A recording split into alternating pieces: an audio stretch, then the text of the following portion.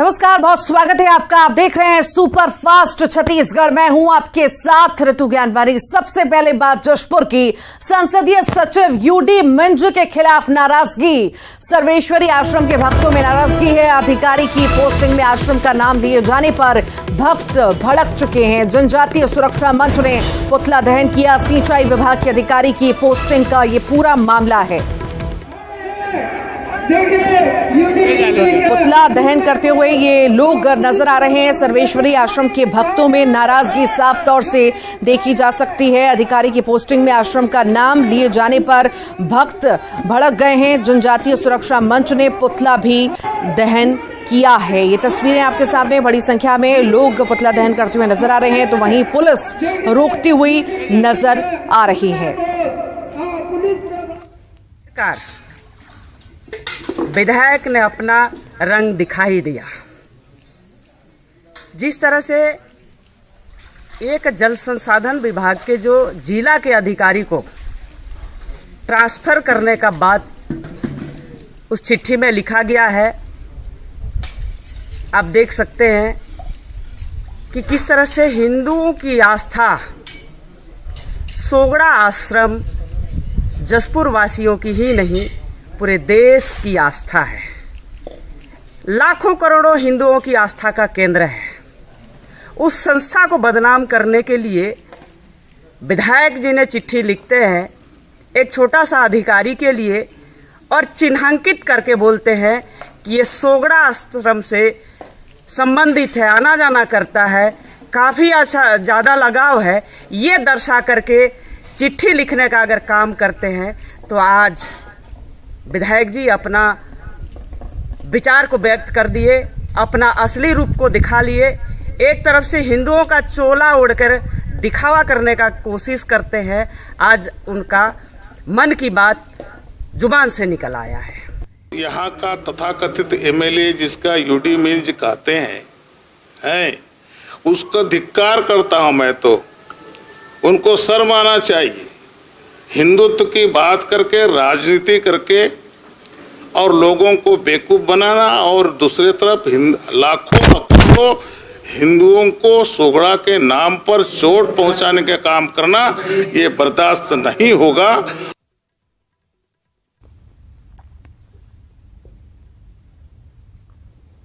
तो यूडी मिंच के खिलाफ नाराज़गी की तस्वीरें आप देख रहे हैं। सर्वेश्वरी आश्रम के भक्तों में नाराज़गी साफ़ तौर से नज़र आ रही है। अधिकारी की पोस्टिंग में आश्रम का नाम लिए जाने पर भक्त भड़क गए हैं। ज़्यादा जानकारी के लिए दीपक हमारे साथ जुड़ गए हैं। दीपक यूडी मिंच के खिलाफ नाराज़गी लोगों की साफ़ तौर से देखी जा रही है। क्या ज़्यादा जानकारी है, बताइए। जी, मैं आपको बताऊँ कि संसदीय सचिव एवं कुनकुरी विधायक यूडी मिंज के द्वारा एक अधिकारी की पदस्थापना में सर्वेश्वरी आश्रम का नाम दिए जाने के बाद अब ज़िले में लोगों की नाराज़गी जो है, वो लगातार बढ़ती जा रही है। समाज के हर वर्ग के लोग जो है, यहाँ पर विधायक के कृत्य से नाराज़ हैं और जो भाजपा है, वो जो है इस विरोध में जो है, अब सामने आई है। अब भाजपा के जो युवा मोर्चा के जो कार्यकर्ता हैं, जशपुर ज़िले के सभी मंडलों में जो है, उनका संसदीय सचिव का पुतला दहन कर रहे हैं और संसदीय सचिव के खिलाफ जमकर नारेबाजी हो रही है। वहीं आदिवासियों का नेतृत्व करने वाला जनजातीय सुरक्षा मंच के हज़ारों लोग जो है वो दुलदुला में इकट्ठा हुए थे और वहाँ भी जो है आदिवासियों ने भी संसदीय सचिव का जो पुतला दहन किया और उनके खिलाफ जमकर नाराज़गी यहाँ पर ज़ाहिर की और इस घटना में जो है आदिवासी नेताओं के बयान भी सामने आ रहे हैं।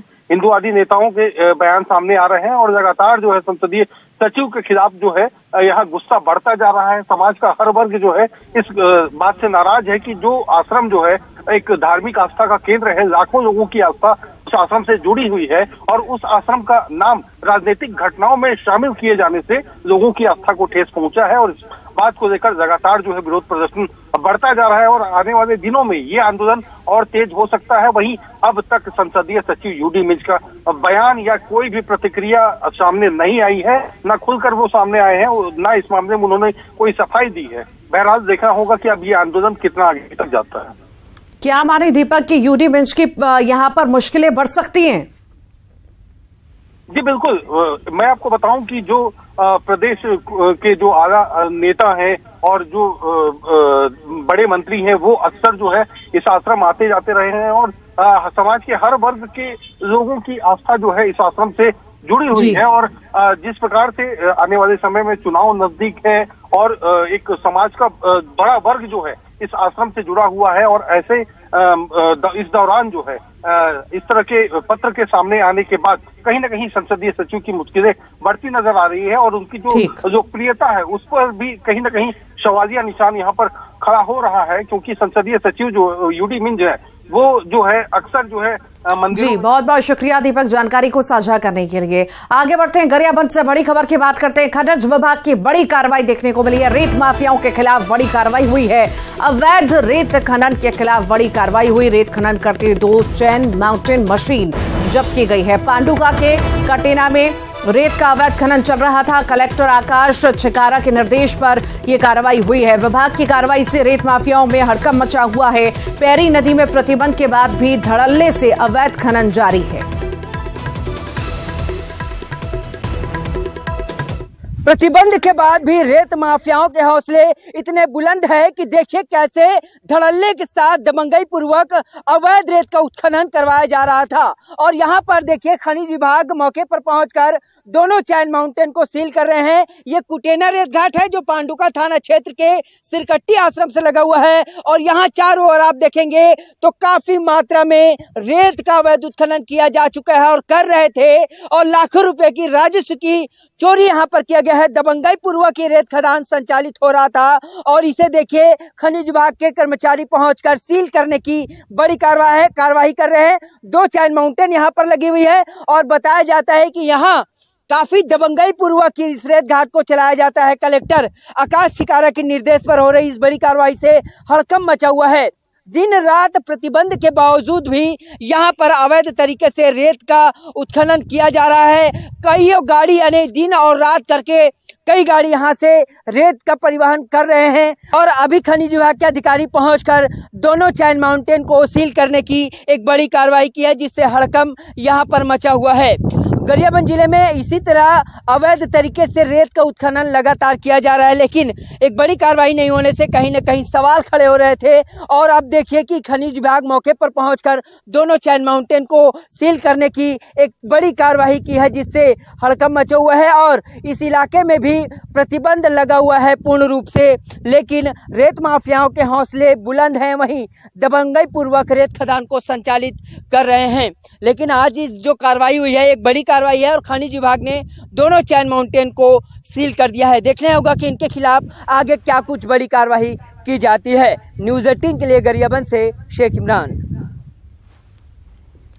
धमतरी में धड़ल्ले से अवैध प्लाटिंग पर प्रशासन ने बुलडोजर चला दिया है। शहर के आसपास कुल छह ठिकानों पर बुलडोजर चला करके कच्ची सड़क को तोड़ दिया गया था और मुरम भी जब्त की गई है। इस कार्रवाई में राजस्व विभाग के साथ नगर निगम की टीम भी शामिल रही। गौरतलब है कि धमतरी में भूमाफिया खुलेआम। शहर के आसपास की कृषि भूमि पर प्लाटिंग करके लगातार बेच रहे हैं। लेकिन अब इस कार्रवाई से ज़मीन के दलालों में खलबली मची हुई है। अभी जिला प्रशासन के संज्ञान में ये आया कि अपराधिकृत तरीके से डेवलप किए जा रहे हैं और कॉलोनाइजर मतलब जो अवैध तरीके से काल कॉलोनी का मतलब विकास करने जा रहे हैं तो ये चूँकि कानूनी रूप से अवैध है और हमने देखा तो पाया कि निश्चित रूप से इसमें कार्रवाई करना चाहिए और हमने ये कार्रवाई की। बलरामपुर ज़िले में न्यूज़ 18 की खबर का एक बार फिर से बड़ा असर हुआ है, जिसमें सड़क नहीं होने की वजह से ग्रामीण बारिश में भीगते हुए एक मरीज़ को घाट पर लिटाकर एंबुलेंस तक ले गए थे। खबर दिखाए जाने के बाद संसदीय सचिव चिंतामणि महाराज और जिला प्रशासन की टीम गाँव पहुँची और ग्रामीणों की समस्याएँ सुनी, जिसके बाद तत्काल सड़क पर डस्ट गिराना शुरू कर दिया गया ताकि आवागमन शुरू हो सके। इस काम में संसदीय सचिव चिंतामणि महाराज ने भी श्रमदान किया। साथ ही मानसून के बाद सड़क बनाने का भरोसा भी दिया। काम हो गया। आपका बहुत बहुत हार्दिक दिल से धन्यवाद। पूरा आपका पूरा पब्लिक यहाँ का धन्यवाद करती है। आपका न्यूज़ रिपोर्टर वाले जितने भैया हैं आप लोग आए हम लोगों को मदद किए। आपके चलते हमारा रोड भी बन गया। और बहुत कुछ का लाभ भी मिला यहाँ। जिस से हमको जान पहचान नहीं था, उस से हमको परिचय हो गया। अब आप लोग को मीडिया वाले को बताए हम लोग कितना अच्छा हम लोग कामा डांड नौकी में कितना अच्छा सहायता किए। हमारे यहाँ आमा डांड में कोई नहीं आता था पहले, लेकिन हम लोग का एक दो चार जने और थे मीडिया वाला थे। हम लोग को सब जने बहुत अच्छा साथ दिए कि हमारे यहाँ आज चिंतामढ़ी मतलब कि विधायक को यहाँ आना पड़ा, और अच्छा से मतलब हम लोग को आश्वासन दे के गए हैं कि हम लोग रोड बनाएँगे। और काम भी चालू आमा डांड में बहुत अच्छा से करवा दिए हैं। इसमें अगर हम डस्ट डलवा देते हैं तो ये बरसात आराम से निकल जाएगा। और इसमें विभाग वाले को मैं बोला हूँ कि बरसात निकलने के बाद इसमें डब्ल्यू बी एम कर दिया जाए जिससे कि आने वाला समय में आ, पिचिंग के लिए भी सोचा जा सके। कवर्धा के पंडरिया मुंगेली मुख्य मार्ग के जर्जर होने की खबर न्यूज़ 18 पर दिखाए जाने के बाद असर हुआ है। न्यूज़ 18 पर खबर दिखाए जाने के बाद पंडरिया मुंगेली मुख्य सड़क की रिपेयरिंग का काम भी शुरू हो चुका है। सड़क पर बड़े बड़े गड्ढे होने की वजह से इस पर हमेशा हादसों का डर बना रहता था। अब इस सड़क की रिपेयरिंग होने से राहत मिलने की उम्मीद है।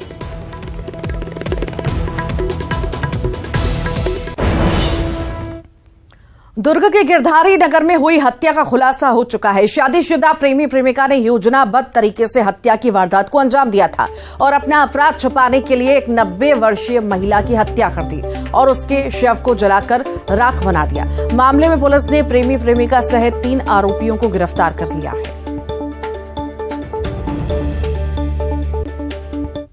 तो उसने ये बात बताई कि उसका एक उमेश साहू नाम के व्यक्ति के साथ संबंध था पहले से।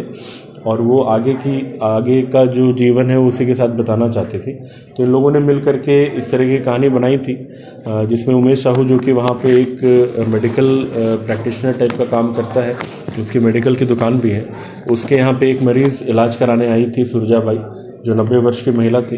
उसको पहले इसने बेहोश करके, तकिए से इसका मुँह दबा करके उसकी हत्या कर दी। हत्या करने के पश्चात मोहन नगर में घटनास्थल पे उसकी बॉडी ला करके रख दिया और साथ में जो कुछ जेवर हैं जो सुप्रिया यादव के, वो भी बॉडी के पास में रख दिए ताकि जलने के बाद ये संदेह हो कि सुप्रिया यादव की ही बॉडी है। बिलासपुर से बड़ी खबर है, सीएम भूपेश बघेल के पैर के पास सांप पहुँचा। मीडिया से बातचीत के वक्त सांप पहुँचा। सीएम ने सुरक्षा कर्मियों को सांप को मारने से रोका। अरे पीट पीटी यार कुछ नहीं डरा मत पीट पीटी है। पीटी डर रहा था। चलो मत मारो मत मारो।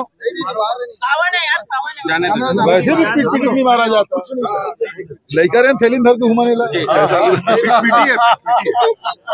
अरे महासमुंद से बड़ी खबर। है ज़िले वासियों को सीएम ने बड़ी सौगात दी है। सीएम बघेल ने बड़ी सौगात दी है। ग्राम पंचायत बोरिंग को नगर पंचायत बनाने का ऐलान कर दिया है। नगर पालिका महासमुद को नगर पालिक निगम बनाने की घोषणा की है। कंपोजिट बिल्डिंग के निर्माण को बजट में शामिल करने की भी घोषणा की है। अगले साल के बजट में शामिल करने की घोषणा उनके द्वारा की गई है।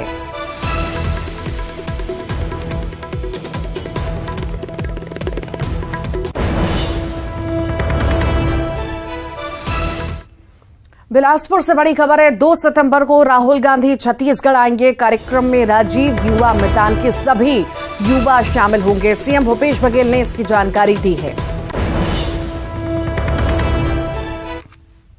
दो सितंबर को राहुल जी रायपुर आ रहे हैं और जिसमें राजीव युवा मितान क्लब के सब सदस्य लोग उपस्थित रहेंगे लाखों की तादाद में।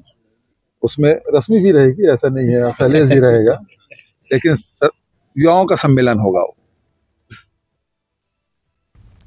चुनावी साल में बीजेपी लगातार कांग्रेस पर हमला बोल रही है। बीजेपी में महात्मा गांधी के नाम पर शुरू किए गए रीपा योजना में चकना बेचने का आरोप लगाया है। स्व सहायता समूह की महिलाओं से चकना और पानी के पाउच बनवाने का आरोप लगाया। रीपा योजना के पाटन क्षेत्र में गलत इस्तेमाल का भी आरोप लगाया।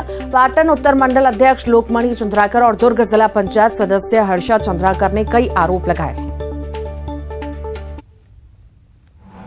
पाटन क्षेत्र के ग्राम फुंडा जहाँ पे दीपा योजना लागू है, चल रहा है, वहाँ पे समूह की बहनों द्वारा ये एक गिलास है और इसके अंदर में ये मिक्सचर और ये पानी पाउच। ये तीनों को डाल के इन लोग वहाँ दस रुपए में बेच रहे हैं। हालाँकि इसमें एमआरपी नहीं लिखा है, पर मैं जहाँ से इसको खरीदा हूँ उसका कहना है, वो दस रुपये में मेरे को दिया है अब ये किसके लिए है? आप लोग अंदाज लगा सकते हैं कि रीपा जैसी योजना से शराब पीने वालों के लिए भूपेश बघेल सरकार क्या सुविधा दे रही है?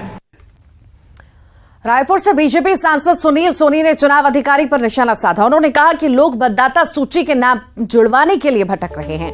फॉर्म छह और सात निःशुल्क देना है, लेकिन वो उपलब्ध नहीं है। मतदाता सूची में नाम जुड़वाने के लिए लोग हताश हैं और निराश हैं। उन्होंने कहा कि इकतीस अगस्त तक नाम जुड़वाने का अंतिम दिन है लेकिन नाम जुड़वाने में अधिकारी मदद नहीं कर रहे। बीजेपी निर्वाचन आयोग से 16 सितंबर तक तारीख बढ़ाने का अनुरोध किया गया। इसी के साथ ही उन्होंने कांग्रेस पर भी हमला बोला।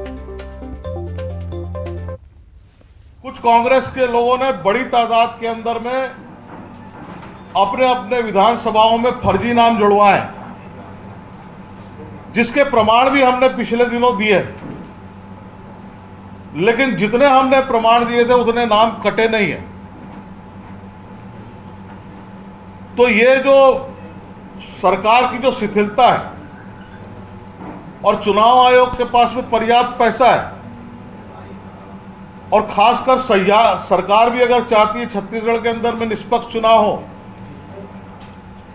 तो अपनी योजनाओं के आप विज्ञापन देते हैं, करोड़ों अरबों रुपए खर्च करते हैं, लेकिन एक व्यक्ति को मत का अधिकार मिले उसके लिए विज्ञापन देने के लिए सरकार के पास में पैसा नहीं है। वॉल राइटिंग के लिए सरकार के पास में पैसा नहीं है। जनहित में जन जागरण के लिए सरकार के पास में पैसा नहीं है। क्योंकि सरकार जो है वो फर्जी मत के आधार पे अपने आप को जिताने का सफल प्रयास कर कर रही है। अभी विधानसभा के चुनाव शुरू नहीं हुई है और भाजपा के नेता हार की ज़िम्मेदारी लेने से बचने के लिए बहाना बनाना शुरू कर दी है। सांसद सुनील सोनी को बताना चाहिए कि उन्होंने चार साल में कितने नए नाम जुड़वाए हैं। कितने नामों को हटवाए हैं और जहाँ आपत्ति थी, क्या उनमें आपत्ति दर्ज कराए थे? असल मायने में विधानसभा के आम चुनाव में भाजपा की करारी हार अभी से भाजपा नेताओं को दिख रही और आइए